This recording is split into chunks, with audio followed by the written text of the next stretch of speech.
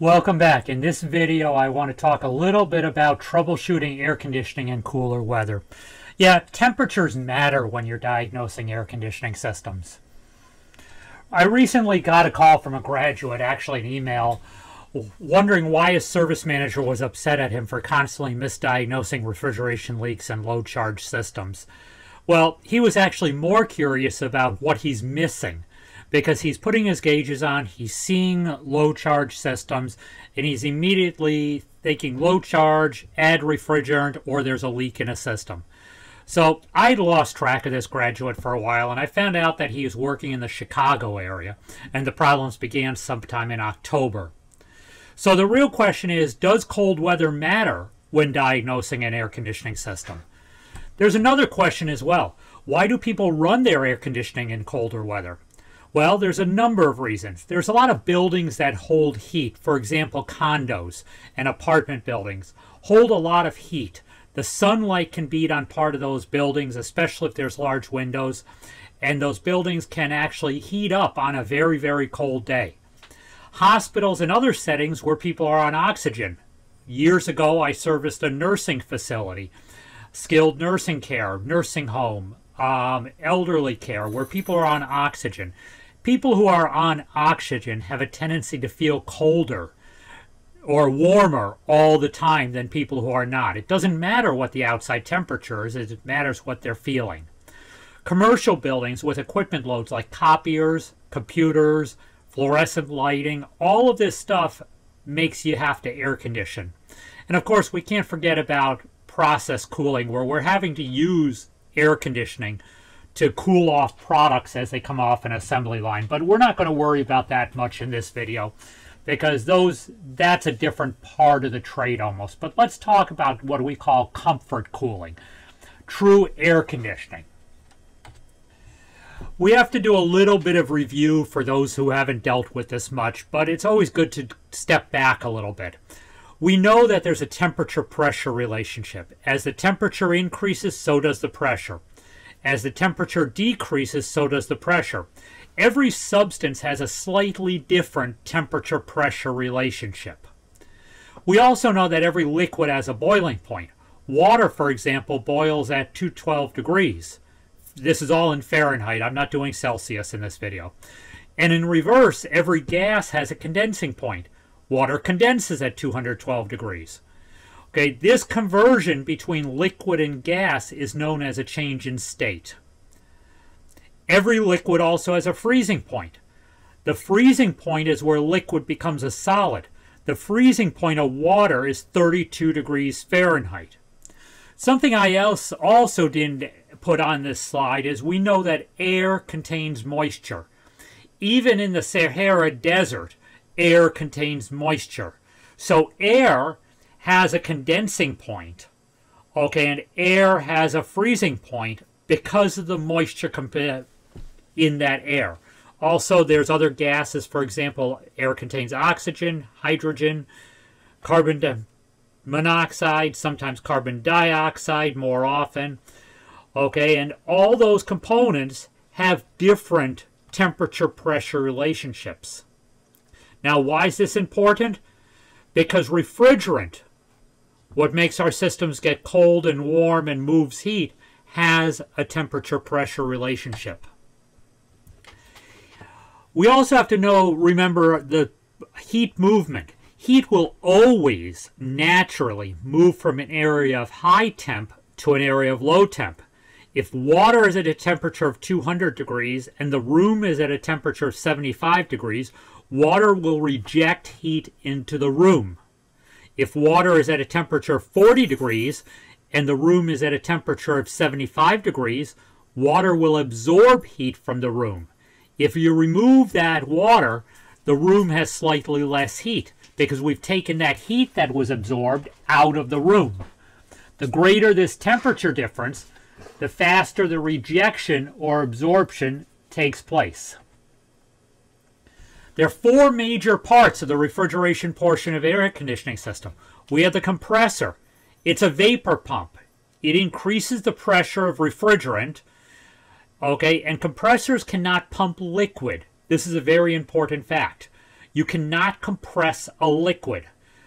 If you try to compress a liquid in a compressor, the metal components will actually snap and break. So the temperature of the refrigerant coming into the compressor must be over the boiling point of the liquid refrigerant when it gets to the compressor. The refrigerant cannot be in a liquid form. It takes low pressure vapor refrigerant from the suction line and discharges it at a high pressure vapor into the discharge line going to the condenser. The next component is the condenser. It is the outside coil I'll show you some pictures of this in a minute. It takes the vapor refrigerant from the discharge line at a temperature greater than the outside air temperature, otherwise known as ambient air temperature, and allows the refrigerant to cool as it rejects the heat to the outside air. As the vapor refrigerant reaches its condensing point, it changes state to a liquid. It continues to cool as it leaves the condenser in the liquid line. Okay, here's just a couple pictures. We have our, this is a residential HVAC unit. We have our compressor that's sitting inside the whole condensing unit. This coil around this compressor, the coil with the fins you can see, is the condensing coil. The next component is the metering device. It's like putting the finger, your finger over the end of a garden hose. The high pressure water from the hose sprays out through the gap your finger leaves and is a lower pressure as it sprays out. The same in an air conditioning system. The metering device takes a, the high pressure liquid refrigerant from the liquid line and sprays it into the next component, the evaporator, and it's at a much lower pressure. The evaporator is also known as the indoor coil. The metering device sprays across the low pressure refrigerant into it it absorbs heat from the air blowing across the coil, and the temperature of the refrigerant rises above the boiling point. It takes that heat with it out of the space back to the compressor, and the cycle starts all over. So again, here's a picture on the left of an evaporator coil in an air handler. Air comes in through the bottom, gets sucked through the coil by the blower motor, which is a, the right above it, the spot with the rust mark on it. And this coil is just a series of tubes. The thicker line coming in here is the um, suction line, and the small copper line is the liquid line. On here on the left is the metering device, and you can see how this works. It partially blocks the flow of refrigerant going into the evaporator coil, and it only allows through that little hole in the center the refrigerant to flow into the coil. Therefore, it causes a pressure drop.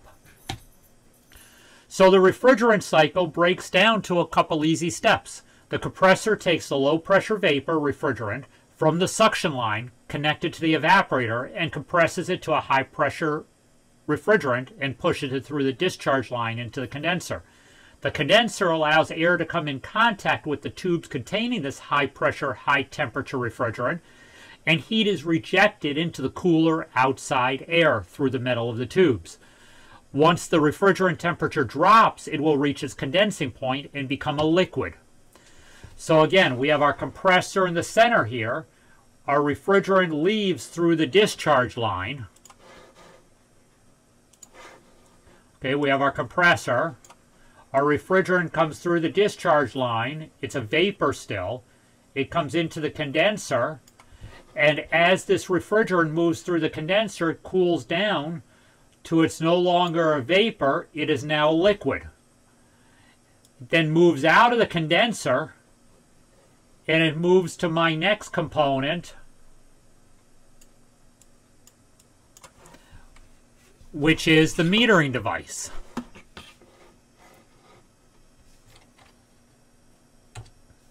The refrigerant then leaves the condenser as a high pressure liquid and travels through the liquid line to the metering device.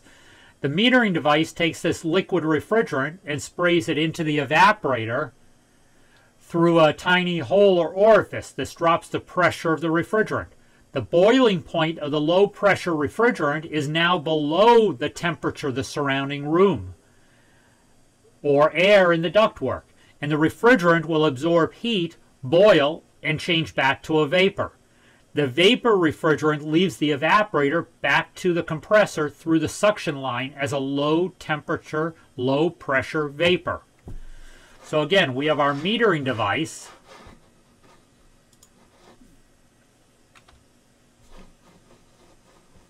Okay, we have our metering device.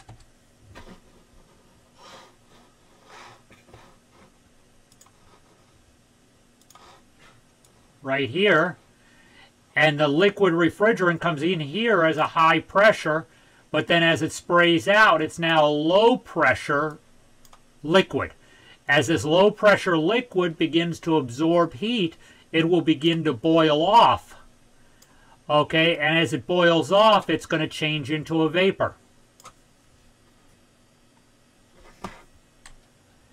And then it leaves the evaporator as a high pressure vapor or as a low pressure vapor and comes back to the compressor where the cycle starts all over again.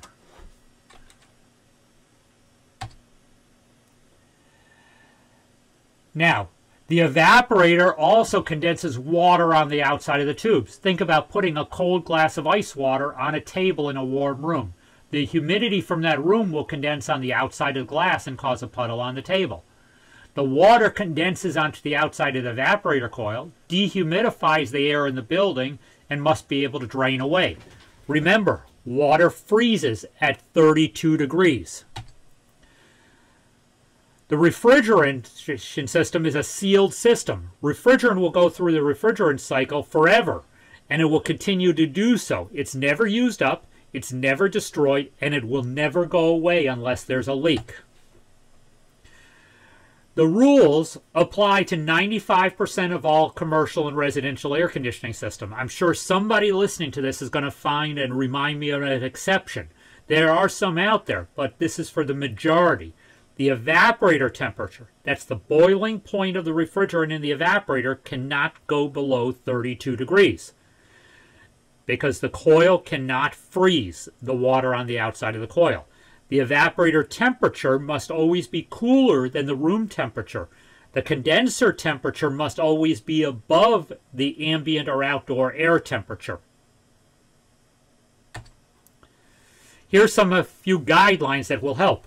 The temperature difference of the air blowing across the evaporator should be someplace between 15 and 20 degrees. The higher the humidity, the lower the temperature difference. The lower the humidity, the higher the temperature difference. Humidity causes a big load on air conditioning systems. So the temperature difference, take your return air temperature at the return air grill or the filter or in the return air line and your supply air temperature as it leaves the coil.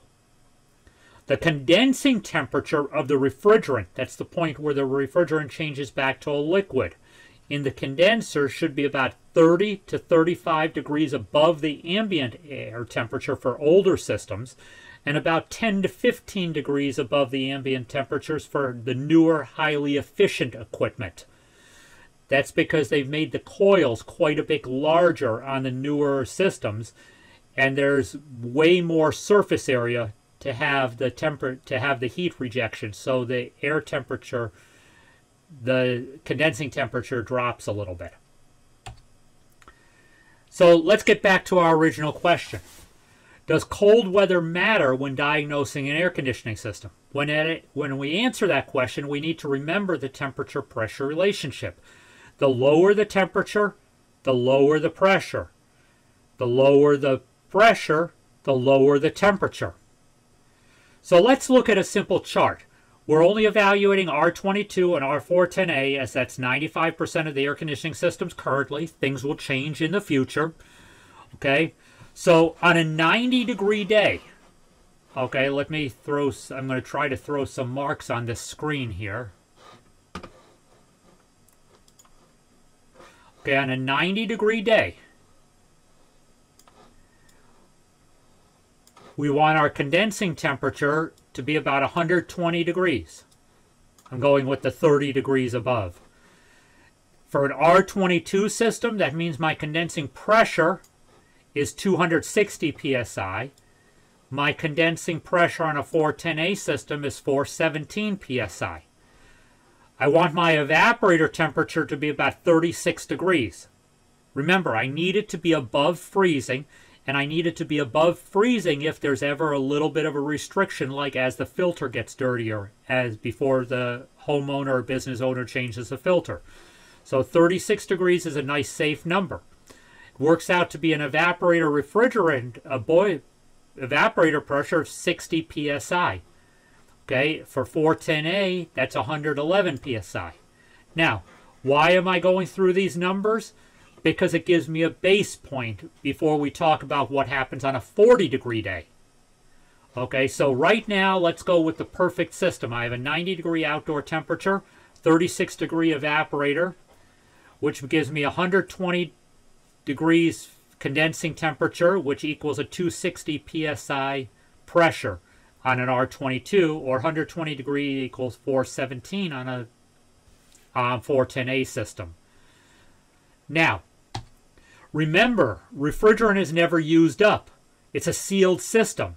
Just as easily it's never being used up, refrigerant is not added if the pressure drops. It's a sealed system. If the outdoor temperatures drop, the pressures will drop. If the pressure drops outside, the pressure will also drop inside. This is the key point. If the outdoor temperature drops, the pressure will drop. If the pressure drops outside, the pressure also drops inside. So now let's add my two other columns, okay, for our 40 degree day. Just like I did for the 90 degree day, we're now going to look at R410A and R22. Okay. Condensing temperature, 70 degrees. Brings me to a 120 psi condensing pressure and a 202 psi condensing pressure. Again, the two refrigerants. We have an evaporator temperature 7 degrees. Because again, outside pressures have dropped by about 50%. So my inside pressures are going to drop by about 50%. Which when I convert my pressure to temperature, these are the numbers I'm going to get. Does everybody see the problem here? All of a sudden, my evaporator temperature is way below 32 degrees. So my evaporator is going to start freezing up, not to mention the efficiency issues. These are rough numbers in terms of the pressure drops, but this gives you an idea of what can happen. Regardless of the refrigerant, the pressure drops throughout the whole system. The compressor becomes less efficient. The evaporator is under 32 degrees, and the condensate on the outside of it will freeze. Because ice is an insulator, it prevents the heat from being absorbed and will begin to return liquid refrigerant to the compressor and eventually will damage the compressor. It will confuse a technician that does not remember this or does not frequently work in cold environments. The low pressures do not mean the system is undercharged or there's a leak. The system's not going to be cooling properly, but there's most likely nothing wrong with the system. A good technician who's aware of this problem can wrap the condenser in a tarp or a plastic bag, don't put it over the fan, which will help increase the pressures. What you're doing is reducing the airflow. Watch your gauges and simulate the pressures you'd find on a 90 degree day. In other words, you want to bring your gauge pressure up to that 417 psi for an R22 system or 122 psi for R22 system. And that will bring your pressures throughout your system up to what you would find on a 90 degree day. You can also install a fan cycling control that turns on and off or adjusts the speeds of the outdoor fan based on the high pressure side of the system. You can realize that you cannot diagnose the refrigerant pressures and do not make diagnoses of pressures, leaks, etc. if the outdoor temperatures are too low. It is perfectly okay to tell a customer, hey, this is, I'm going to throw in a fan cycling control, but we're going to have to come back when the temperatures are warmer to properly diagnose this system. A confused technician Or a technician that doesn't understand this will diagnose a cold system on a day and tell their customer, hey, it's undercharged, it's leaking, or it's no longer efficient and has compressor issues. Okay, so all of this is things that I hear from people diagnosing systems on cold days. Some final notes to throw in here. It's important to realize that cold outdoor ambient temperatures require special handling of air conditioning diagnostics. It's okay to temporarily block outdoor airflow across a coil to raise the pressures. It's highly recommended that any time you charge or add refrigerant to a system at cold ambient temperatures, you visit that system and recheck it on the first available warm day. So back to our my question from my email from a former graduate.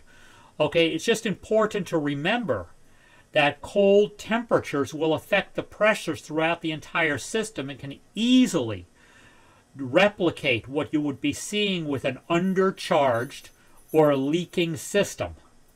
Your pressures throughout the entire system will be low and the refrigeration system will not be effective. So for those of you who are aces in the trade work in the trade. Sorry about the little bit of review at the beginning, but there are newer people to the trade that do watch these videos, and I needed to review the refrigeration cycle. So again, cold pressure, cold temperatures matter. They will drop the pressures throughout the entire system and mess up your diagnostics.